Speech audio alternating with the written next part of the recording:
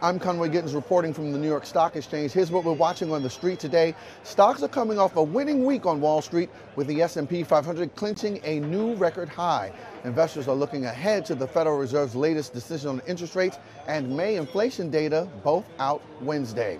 Separately, investors are awaiting Apple's annual Worldwide Developers Conference where the tech giant will announce updates to its software, and Wall Street is looking at how NVIDIA stock performs after its 10 for 1 stock split. In other news, 775,000 vehicles are being recalled from two automakers. Kia is calling back 463,000 of its Telluride SUVs, and Stellantis owned Dodge is recalling roughly 212,000 SUVs and pickup trucks. The Kia recall involves Tellurides made between 2020 and 2024. The National Highway Traffic Safety Administration says there's potential for the front seats to catch fire. The agency has cautioned owners to park outside and away from buildings due to the issue.